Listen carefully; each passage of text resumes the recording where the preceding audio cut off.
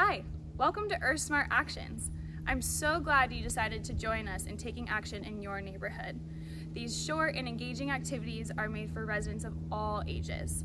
They're going to involve getting outside, walking around your neighborhood. So grab your shoes and let's get started.